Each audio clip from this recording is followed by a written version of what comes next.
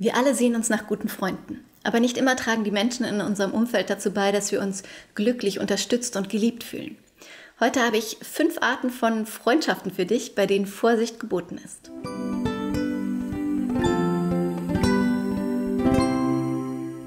Vor kurzem habe ich ein Video darüber gemacht, wie uns unser Umfeld beeinflusst. Nämlich je nachdem, wie die Menschen in unserem Umfeld drauf sind, welche Haltung sie zum Leben haben, welche Überzeugungen sie mit sich herumtragen, welche Erfahrungen sie geprägt haben, beeinflussen sie auch unsere Gedanken und Gewohnheiten. Das geschieht oft unbewusst und ohne jede böse Absicht. Falls du das Video noch nicht gesehen hast, hier oben findest du es verlinkt. So können wir halt auch an Freunde geraten, die uns vorübergehend oder aber auch dauerhaft nicht gut tun.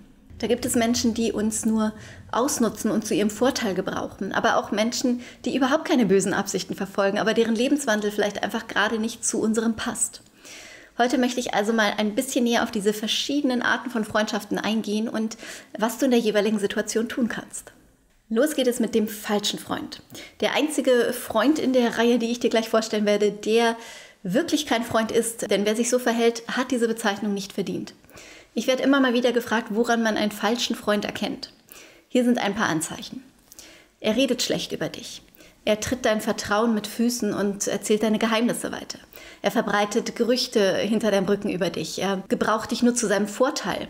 Vielleicht, weil du wohlhabende Eltern hast, weil ihr über einen Pool verfügt oder weil du Kontakte zu dem beliebtesten Mädchen der Schule hast. Er tut dir willentlich und wiederholt weh oder und oder er lässt dich hängen, wenn du ihn brauchst. Wovon ich hier nicht rede, sind Freunde, die mal einen Fehler machen, denn wir machen alle Fehler.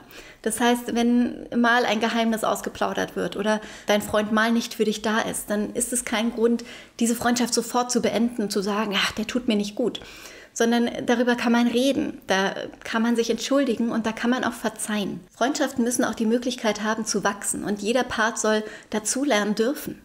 Aber wenn du wiederholt das Gefühl hast, dass du immer benachteiligt wirst, dass du schlecht behandelt wirst, dass es immer zu deinen Lasten geht, dass du dich einfach nicht gut fühlst, dass dieser Mensch dich immer wieder wiederholt verletzt, beleidigt, weiß ich nicht, dir sonst wie wehtut, dann hast du es nicht mit einem Freund zu tun. Und diesen Menschen kannst du getrost in den Wind schießen, denn du brauchst niemanden in deinem Leben, der dir in den Rücken fällt.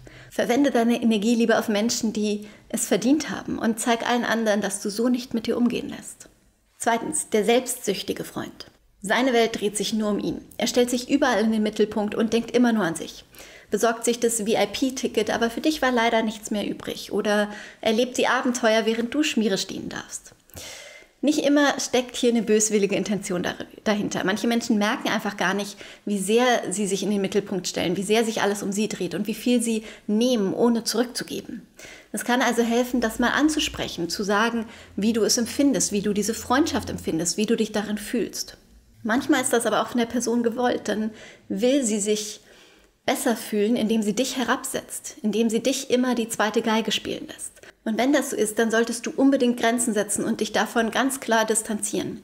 Denn wenn du die Dinge so weiterlaufen lässt, dann ist es katastrophal für dein Selbstwertgefühl. Du gewöhnst dich mehr und mehr daran, dass es irgendwie okay ist, dass die anderen immer das Bessere kriegen und dass du selbst immer irgendwie die zweite Geige spielst, immer hinten anstehst, dass deine Bedürfnisse nicht wichtig sind. Du hast es genauso verdient, all diese Abenteuer zu erleben und den Prinzen zu küssen, wenn du ihn denn küssen willst. Also lass dir von niemandem einreden, dass du an den Ofen gehörst oder dass du nur gut dazu bist, die Stube zu fegen und dass du es nicht verdient hättest, ebenso im Mittelpunkt zu stehen oder all das zu bekommen, was du haben möchtest. Drittens, der destruktive Freund. Dieser Freund verfolgt überhaupt keine bösen Absichten, aber er führt gerade einen Lebenswandel, der deinem diametral gegenübersteht. Das heißt, er zieht dich herab und er führt dich an, diesen, an diese destruktiven Verhaltensweisen ran, die du gerade gar nicht gebrauchen kannst oder von denen du loskommen möchtest. Das kann zum Beispiel ein Alkoholikerfreund sein, der immer wieder über die Stränge schlägt und dich eben auch dazu überredet oder dich dazu bringt, dass du viel mehr Alkohol trinkst, als du es eigentlich machen möchtest. Oder die, die Freundin, die ständig irgendwie die Nacht zum Tage macht und dich von all den Dingen abhält, die du eigentlich machen willst. Auch diesen Freund musst du nicht sofort in den Wind schießen, aber es ist vielleicht ratsam, den Kontakt ein bisschen mehr nach deinen Vorstellungen zu gestalten. Also vielleicht den Alkoholikerfreund in Situationen zu treffen, wo man nicht Alkohol trinken kann oder die Freundin, die immer die Nacht zum Tage macht, lieber zum Nachmittagsspaziergang zu treffen und eben nicht nachts mit ihr durch die Clubs zu tingeln. Viertens, der pessimistische Freund. Das ist diese Person, die alles schlecht redet und an allem etwas auszusetzen hat, die einfach immer alles negativ sieht. Und schon wenige Minuten mit dieser Person in einem Raum reichen, um dich vollkommen ausgelaugt und erschöpft zu fühlen. Vielleicht hast du diese Person ja im Grunde deines Herzens total lieb, aber stellst zunehmend fest, dass dich ihre Gegenwart einfach zunehmend belastet und erschöpft und runterzieht. Auch hier kann es helfen, der Person mal mitzuteilen, wie du dich in ihrer Gegenwart fühlst. Denn wie gesagt, nicht allen Menschen ist bewusst, was sie für eine Energie ausstrahlen oder wie sie sich verhalten. Das heißt, sprich das ruhig mal an, wenn du das Gefühl hast, die, diese andere Person, dein Freund, redet immer nur negativ und sieht alles immer nur schwarz und redet alles immer nur schlecht und zieht alles herunter. Und es kann ebenfalls helfen, dass wenn du gezielt versuchst, das Gespräch immer wieder auf was Positives zu ziehen, wenn du also sagst, was gibt es denn jetzt mal Positives zu berichten? Was ist denn gut gelaufen heute? Was war denn eine schöne Sache in deiner Beziehung? Oder einfach immer wieder versuchst, so ein bisschen die positiven Inhalte hervorzuholen. Dadurch kannst du natürlich erstens diesem Mensch helfen, auch mal ein bisschen mehr Balance in seine Sichtweise zu, zu bekommen, aber natürlich auch dir helfen, dass die Gespräche wieder vielfältiger werden. Wenn das aber alles nicht fruchtet, wenn, wenn diese Person da total änderungsresistent ist oder sich vielleicht auch einfach gar nicht ändern will, dann kann es manchmal ratsam sein, dich ein bisschen von dieser Person zu distanzieren, einfach den Kontakt vielleicht ein bisschen einzuschränken, damit du für dich nicht immer diesen Zustand hast, dass du danach vollkommen deprimiert und ausgelaugt bist. Fünftens, der Freund in der Krise. Wenn Krisen über lange Zeit fortbestehen, dann kann auch das dieses Gleichgewicht aus Geben und Nehmen in einer Freundschaft bedroht sein. Man redet immer nur über die Krise. Dein Freund ist natürlich konstant schlecht drauf. Es dreht sich immer nur um ihn. Er kriegt wahrscheinlich überhaupt nicht mehr mit, wie es dir geht, weil er hat überhaupt keine Kapazität zu sehen, wie es dir geht, was du machst und für dich da zu sein. Stattdessen bist du immer nur für diese Person da. All das kann zunehmend belastend sein und wirklich über die Dauer an deine Substanz gehen. Natürlich geht es nicht darum, diesen Freund sofort abzusägen, wenn es ihm schlecht geht. Das wollen wir natürlich nicht machen, denn Freundschaften basieren ja auch darauf, dass wir füreinander da sind, wenn, wenn es jemandem nicht gut geht.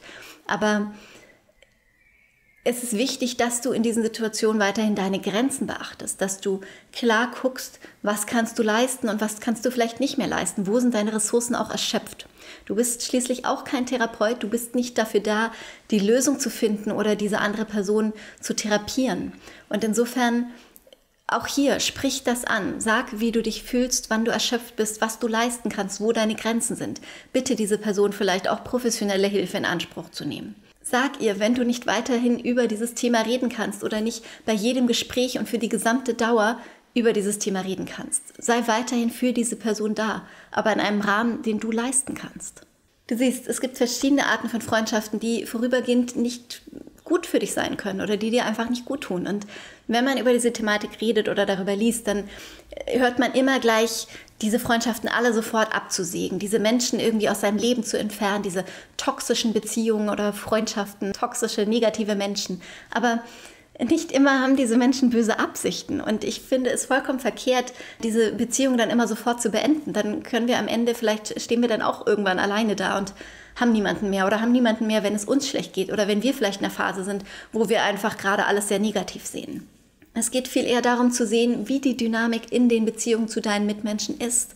Wie, was tun diese Beziehungen für dich oder wie fühlst du dich in ihnen? Wo besteht vielleicht auch einfach Optimierungsbedarf? Was könnte man mal ansprechen? Worüber sollte man vielleicht mal reden? Trenne dich von Menschen, die dich absichtlich schlecht behandeln und distanziere dich von solchen, die schlechte Gefühle bei dir hinterlassen und gestalte den Kontakt zu allen anderen aktiv mit, so dass du sie unter deinen Bedingungen und so wie es für dich gut ist und wie es dir gut tut, sehen und treffen kannst. Es ist nämlich ein Zeichen von Selbstfürsorge und Selbstliebe, für dich einzustehen und klare Grenzen zu setzen. Und es ist ein Zeichen von Selbstliebe, wenn du dir dein Umfeld aktiv so gestaltest, dass du darin bestmöglich aufblühen und wachsen kannst. Über dieses Thema habe ich übrigens gerade auch ein Buch geschrieben, nämlich dazu, wie du dir selbst die Liebe geben kannst, die du verdienst. Und wenn dich das interessiert, dann äh, schau mal unten in der Infobox vorbei.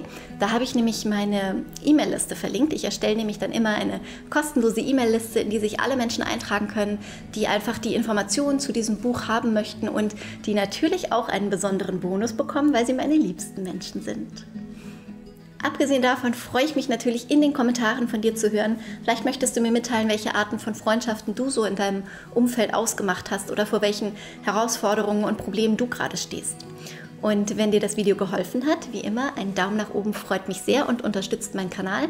Und was mich noch mehr unterstützt, ist, wenn du den Kanal gleich abonnierst und wir uns ab jetzt jeden Sonntag wiedersehen. Bis dahin, mach es gut.